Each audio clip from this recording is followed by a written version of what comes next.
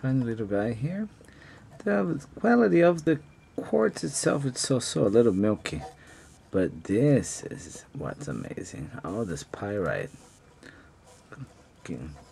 Very bling bling. Quite a few of them on this face. Here and there's also sprinkled tinier ones